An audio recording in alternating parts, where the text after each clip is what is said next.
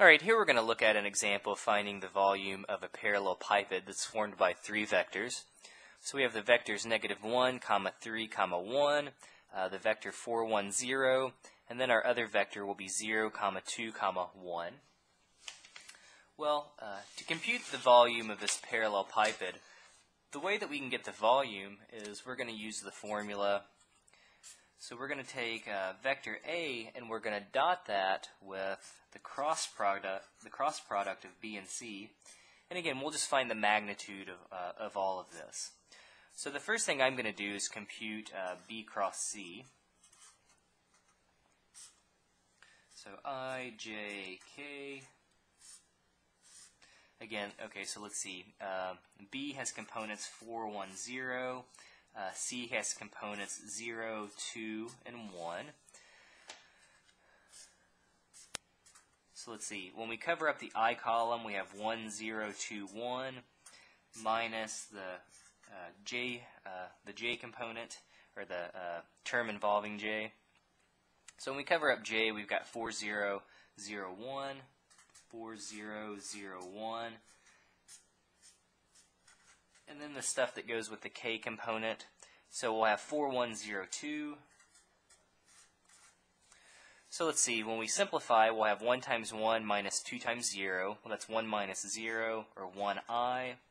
Minus, we'll have 4 uh, minus 0, so we'll have 4j. 4 times 2 is 8 minus 0k.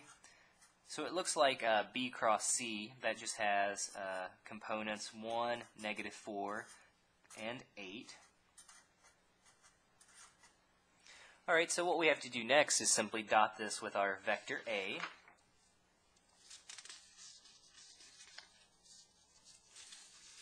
So let's see, again, vector A that has uh, components negative 1, comma 3, comma 1. We're going to dot this with the cross product which we said has components 1, comma, negative 4, comma, 8.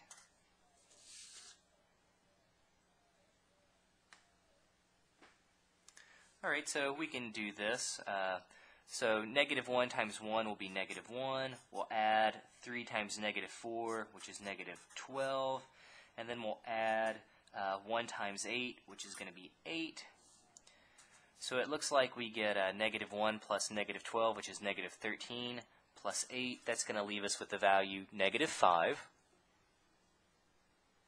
And the last thing we have to do is, well, we take, uh, so again, we've now figured out the expression that goes inside. So it says the volume is going to equal uh, the magnitude, or you can think about it really as almost being like an absolute value of negative 5. That's just going to leave us with positive 5, and that will be our solution.